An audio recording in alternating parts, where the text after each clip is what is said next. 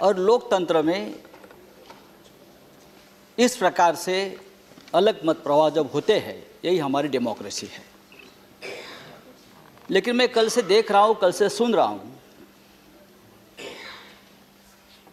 ये कहा गया कि जो इस बिल को समर्थन नहीं करेगी, वो देशद्रोही है।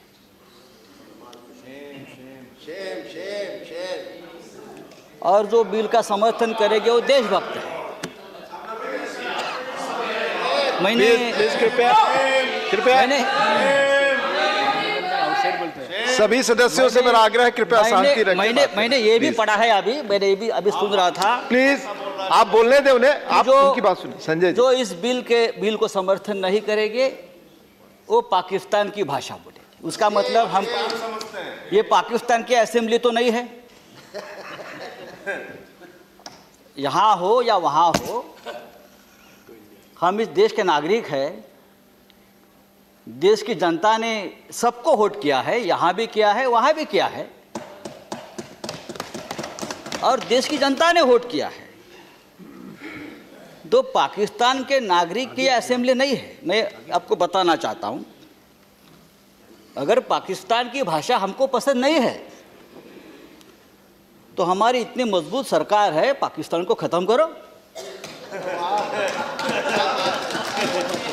पाकिस्तान ऑक्युपाइड हाँ हम हम आपके साथ हैं। आप संजय जी चेयर को संबोधित कर बोले।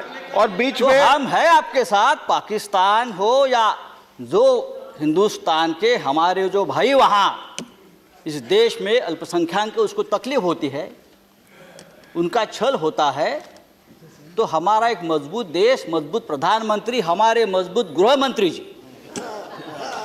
आपके ऊपर हमारी आशा है। आपने तीन से सत्तर को हटाया, हमने जी जान से आपको समर्थन दिया है, देते रहेंगे। आज देश के बहुत से हिस्से में मैं देख रहा हूँ, इस बिल को विरोध हो रहा है। हिंसा हो रही है। आसाम हो, त्रिपुरा, मिजोरम, मणिपुर। ठीक है, एक सेक्शन समर्थन में है, एक सेक्शन विरोध में है। वो भी देश के नागरिक है, देशद्रोही नहीं है। तो देशभक्ति का प्रमाण पत्र किसी से लेने की हमें ज़रूरत नहीं है।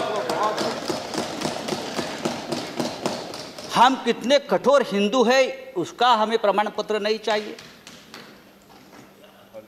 जिस स्कूल में आप पढ़ते हो, हम उस स्कूल के हेडमास्टर है, आपको बताना चाहिए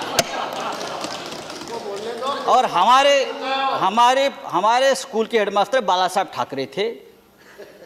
अटल जी भी थे, श्यामा प्रसाद मुखर्जी भी थे, सब